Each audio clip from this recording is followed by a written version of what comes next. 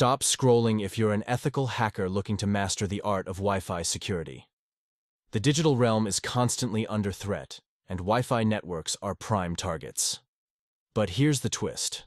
Not all hackers wear a villain's hat. Ethical hackers, like you, are the unsung heroes of the cyber world.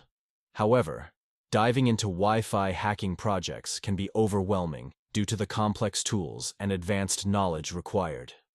Fear not, because we're about to simplify your journey into Wi-Fi security.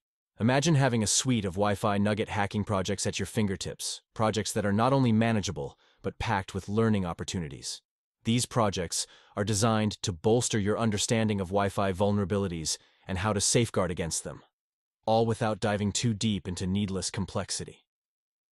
We've distilled these concepts into bite-sized, easily digestible projects, from cracking WPA2 passwords using strategic word lists to setting up honeypots to trap would-be attackers, our guide walks you through each step with precision and clarity. This is your chance to enhance your skills, contribute to cybersecurity, and perhaps uncover vulnerabilities that have yet to be discovered.